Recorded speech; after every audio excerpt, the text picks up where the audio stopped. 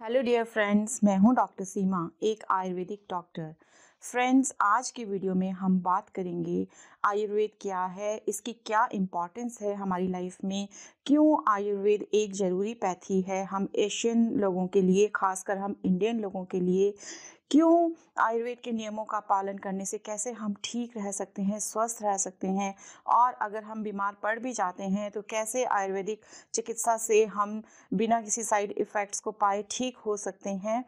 तो friends, last तक इस वीडियो को देखते रहिए। स्टे ट्यून्ड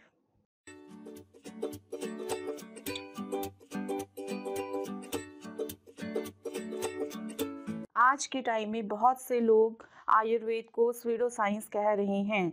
लेकिन फ्रेंड्स क्या ये सही है? आप being an Indian being a human being और आयुर्वेद को आप बचपन से अपनी लाइफ में देखते आ रहे हैं। हमारी किचन में आयुर्वेद है, हमारी दादी माँ, हमारी नानी माँ, हमें आयुर्वेद के अनुसार चिकित्सा करते हुए कितनी छोटी छोटी बीमारियों से शुरू से बचाती आई हैं।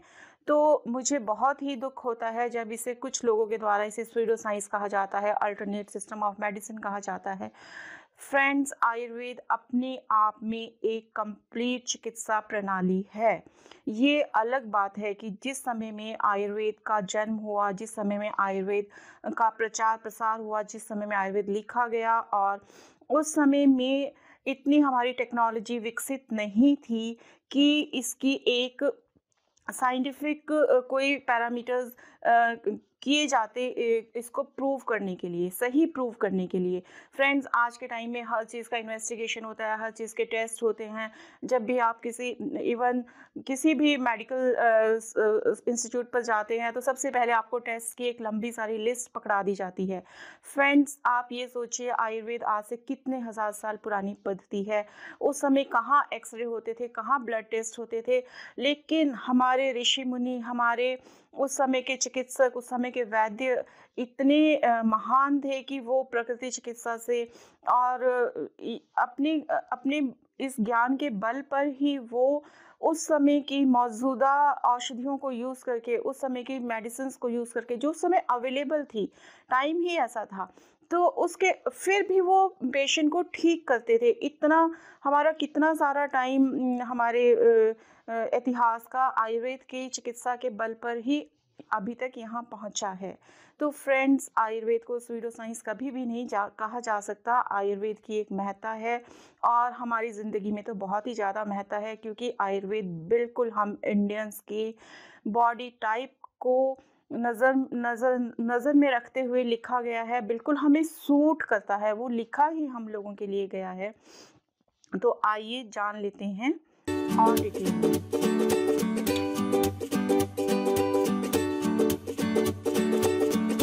फ्रेंड्स एक आयुर्वेदिक बैचलर होने के नाते मैंने आयुर्वेदिक ग्रंथों को बहुत डिटेल में पढ़ा है। और हमारा, हमारे college Rajiv Gandhi post graduate Ayurvedic college Paprola district Kangra, Himachal Pradesh के अधिकांश डॉक्टर्स जो हमारे टीचर्स हुआ करते थे, अधिकांश वो पीएचडी हैं, कहीं वाराणसी से, जयपुर से, जामनगर से। तो वो इतने स्किल्ड थे, इतने इतना अच्छे से उन्होंने डीपली हमें पढ़ाया है फ्रेंड्स अभी भी मुझे कुछ एग्ज़ाम्पल याद आते हैं, जैसे कि सुश्रुत, जो हमारे सुश्रुत हुए हैं आचार्य, उन्होंने सुश्रुत संहिता में जो सर्जिकल इंस्ट्रूमेंट्स का, को जो उस समय बताया था विद पिक्चर्स वो आज के हम जब हम मॉडर्न साइंस के सर्जिकल इंस्ट्रूमेंट से उनको कंपेयर करते हैं तो वो उन्हीं का सुधरा हुआ रूप है कम्प्लीटली ऐसे ही एक और एग्ज़ाम्पल मुझे याद आता है कि एक आई में आई की एक डिज़ीज़ पढ़ाते हुए जो उसके श्लोक में कुछ दो दो, तीन तीन वर्ड्स को हमारे सर ने क्लियरली हमें उसको मॉडर्न साइंस के उसके कॉजेज कॉजेज से बिल्कुल को रिलेट करके पढ़ाया था। तो फ्रेंड्स हमार हमें ये पता है एटलीस्ट मैं ये मानती हूँ कि आयुर्वेद एक ऐसी पैथी है जो रूट है, जिसकी जड़ें बहुत गहरी हैं और ये मेडिकल साइंस जो आज की एलोपैथिक साइंस है, ये इसी से निकल कर आई है, ये इसी का सुधरा हुआ रूप है। अब टाइम के अकॉर्डिंग पैथीज में चेंज तो आएगा ही, क्योंकि आज के टाइम में उसको एक्सपेंड होने के चांसेस ज़्यादा हैं, जबकि आयुर्वेद थोड़ा सा रिसर्च के मामले में थोड़ा पीछे रह गया है, इसलिए शायद कुछ लोगों को कहने का मौका मिल रहा है इसको स्वीडो साइंस कहने का। फ्रेंड्स हम अपने पूर्वजों के दिए गए इस उपहार को, इस आयुर्वेदिक चिकित्सा को सिर्फ़ एक हैंडफुल ही यूज़ कर रहे हैं। इसमें इतनी वास्ट जानकारी है। हमारी दिनचर्या कैसी होनी चाहिए? रात्रिचर्या कैसी होनी चाहिए? हमारी प्रकृति क्या है? प्रकृति के अनुसार हमारा आहार विहार कैसा होना चाहिए? और भी बहुत कुछ, अगर आप सांस भी ले रहे हैं, उसके बारे में भी उसकी व्याख्या की गई है। उसमें वेगों को नहीं रोकना चाहिए। आप छींक रोकते हैं तो क्या होता है? अगर आप अपना यूरिनेशन के प्रेशर को रोकते हैं तो क्या होता है? आप मोशन के प्रेशर को रोकते हैं तो क्या हो सकता है? आपको एक ज़िंदगी जीने के सही तरीके बताए गए हैं। और इसमें सबसे अच्छी बात ये है आयुर्वेद में फ्रेंड्स की जो किसी भी पैथी में नहीं है, सिर्फ़ आयुर्वेद में मिलती है कि ये सबसे पहले प्रिवेंशन पार्ट पर ध्यान देता है कि आपका आपका रहन सहन कैसा हो कि आप बीमार पड़े ही नहीं। ऐसे छोटे छोटे मूलभूत बेसिक प्रिंसिपल्स आयुर्वेद में बताए गए हैं। अगर हम उनका टेन परसेंट भी यूज़ करते हैं तो हम बहुत सारी प्रॉब्लम से बच सकते हैं। इसका प्रिवेंटिव पार्ट ही इतना अच्छा है और फिर मेडिसिनल पार्ट तो है ही। इसके साथ योगा और रसायन वाजीकरण ऐसे बहुत सारे कुल मिलाकर कंप्लीट साइंस है ये।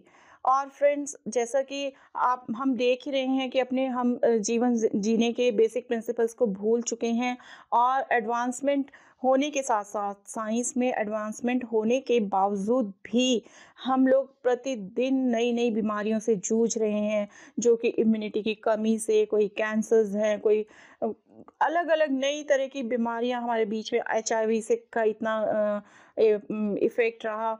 तो फ्रेंड्स ये सब चीज़ें हैं। अगर हम आयुर्वेद को जानेंगे, समझेंगे और उस पर थोड़ा सा पालन करने की कोशिश करेंगे तो ये एक मैं आपको शर्त या बात कह सकती हूँ कि आप बहुत सारी बीमारियों से बच सकते हैं। एक और फैक्टर है फ्रेंड्स आजकल आयुर्वेद के नाम पर इतना ज़्यादा कमर्शलाइजेशन हो रहा है। लोग अपनी सिर्फ़ प्रोडक्ट्स बेचने के चक्कर में ये अच्छा है, ये ये बुखार में अच्छा है, ये पेट के लिए अच्छा है, ये कब्ज़ ठीक करेगा। लेकिन फ्रेंड्स आयुर्वेद एक कॉम्प्लेक्स साइंस है। जो जो चीज़ एक व्यक्ति के लिए अच्छी हो सकती है, वो उसकी प्रकृति के अनुसार दूसरे के लिए जहर भी सिद्ध हो सकती है।